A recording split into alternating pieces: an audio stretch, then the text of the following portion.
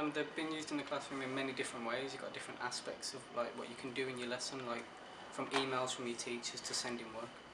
Um, well, a lot of cases, like we've used them as like a whiteboard, kind of like when everyone's at the front, and then we'll use it like answering answers through a whiteboard, kind of like in the start, like especially using from the start of assignments. Then we can do it like that to learn the basis of the skills to go on and develop that further.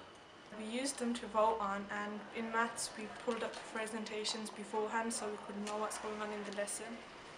Well, you can use it as a whiteboard. We have loads of different educational apps as well and you can pull up the presentation and see what the teacher's doing at your own pace.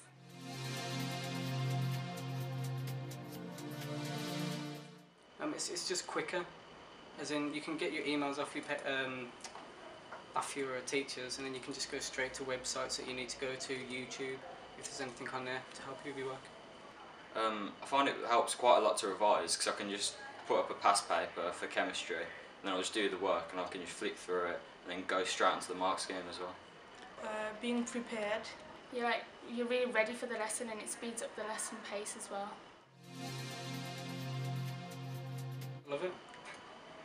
Yeah, it's great. Um, I quite like it at home as well. Usually, I can put some music on and then do my work, or just use it just generally shopping as well. Yeah, who doesn't? It's a benefit to everyone as technology advances. Yeah, because you can use your own resources as well as the teacher's resources and surf the internet at the same time as well. Yeah, it has. It's a for a lesson like product design, for example, you can work on your work which you're doing on paper, or looking at something to get ideas from your iPad. Um, I think it's made a lot of difference to my work due to revision, and emails makes it a lot easier as well. Uh, yeah, it's made me ready for everything and so I know what I'm doing in class. Yeah, it's really speeded up the lessons and given students an insight into te- new technologies, not just paper and pen.